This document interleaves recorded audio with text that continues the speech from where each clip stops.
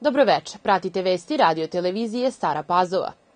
Predsednik Srbije Aleksandar Vučić kaže da će biti doneto niz novih mera kako bi se predupredili stravični događaji sa kojima se Srbija suočila prethodnih dana. Najavljuje da će od danas biti pojačane policijske patrole kod škola i tržnih centara i ističe da će policajci u školama biti dobro naoruženi i spremni da odgovore. Kaže da ga je Branko Ružić obavestio o ostavci i najavljuje zanimljive političke događaje do kraja maja. Ministarstvo unutrašnjih poslova Republike Srbije poziva građane koji posjeduju neregistrovano oružje da ga od danas do 8. juna ove godine predaju najbližoj policijskoj stanici. Jelena Lakićević, načelnik odeljenja za oružje iz Uprave za upravne poslove Ministarstva unutrašnjih poslova, ističe da tokom ovog perioda građani koji predaju neregistrovano oružje neće krivično odgovarati niti snositi bilo kakve posledice, a ne moraju dokazivati ni poreklo oružja. U Ujedno Ministarstvo unutrašnjih poslova poziva i one građane koji nisu predali policijskim stanicama na čuvanje oružje nakon smrti vlasnika da to sada i urade, ističe Lakićević. Oružje u nelegalnom posedu građani u navedenom periodu bez ikakvih posledica mogu predati svakog dana od 7 do 19 časova.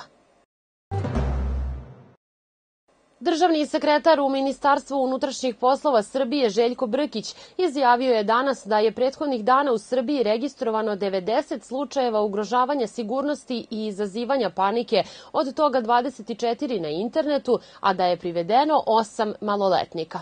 Apelovao bih i na nastavnike i na roditelje da razgovaraju sa decom i da im objasne da bilo koja objava koja im možda liči na šaljivo ili da će da privuče pratioce može da dovede do ozbiljnih posledica, rekao je Brkić. Predstavnici poljoprivrednih udruženja danas su na sastanku sa predsednicom vlade Republike Srbije Anu Brnabić izneli niz predloga koji bi prema njihovom viđenju doveo do poboljšanja položaja poljoprivrednika.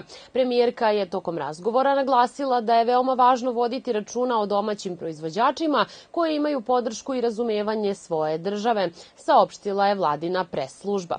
Sastanku na kojem su analizirani dosadašnji rezultati u svim sektorima poljoprivrede, kao kao i ekonomski pokazatelji u tim oblastima prisustvovali su potpredsednik vlade i ministar financija Siniša Mali i ministarka poljoprivrede, šumarstva i vodoprivrede Jelena Tanasković.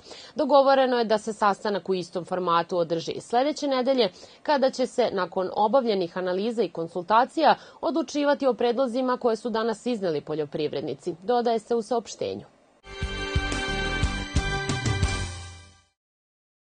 Rukometašice mladosti iz Nove Pazove napravile su brejk u polufinalnoj seriji play-offa pošto su na gostujućem terenu savladale ekipu Jagodine rezultatom 24-20. Od prvog minuta gošće su pokazale odlučnost da iz ovog duela izađu kao pobednice. Povele su 3 prema 0 i tokom celog meča nisu dozvolile domaćinu da preokrene rezultat. Uspela je Jagodina u 41. minutu da stigne do izjednačenja 16-16, ali je mladost predvođena predvođena raspoloženom Leposavom Glušicom, došla do četiri gola prednosti, 17-21, koje je sačuvala do kraja. Zanimljivo, kod oba tima najefikasniji su bili kapiteni. Leposava Glušica je predvodila napad mladosti sa 10 pogodaka, dok je Aneta Adžić osam puta zatresla mrežu gostujućeg sastava. Takođe, sjajna Leposava proglašena je i za najbolju igračicu utakmice. Druga utakmica igra se 10. maja sa početkom u 20 sata i 30 30 minuta u sportskoj hali osnovne škole Rasko Nemanjić Sveti Sava u Novoj Pazovi. U 25. kolu Srpske lige Grupa Vojvodina, Omladinac i Dinamo 1945 su u Pančevu priredili pravu goleadu i igrali nerešeno 4-4. Nerešeno je e, odigrao i Podunavac iz Belegiša na gostovanju u Bečeju protiv istoimenog kluba 1-1. Jedinstvo je izgubilo u Bačkoj Palanci od OFK Bačke sa 2 prema 1. Staropazovčani su šesti, Omladinac sedmi, a Podunavac osmi na tabeli. U 25. kolu Vojvođanske lige Grupa grupa Jug, radnički iz Nove Pazove izgubio u Inđiji od železničara sa 1-0.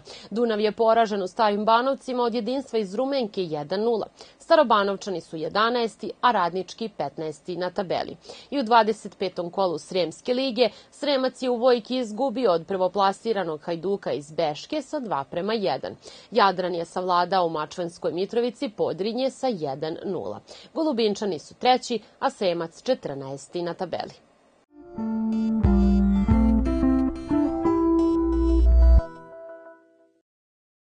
Vreme sutra promenljivo oblačno i u većem delu suvo, a kiša se očekuje još samo na jugu i istoku Srbije. Vetar slab umeren jugoistočni u Košavskom području krajem dana u pojačanju. Najniža jutarnja temperatura od 6 do 11, najviša dnevna od 15 do 20 stepeni. Pratili ste vesti radio televizije Stara Pazova. Hvala na pažnji i prijatno.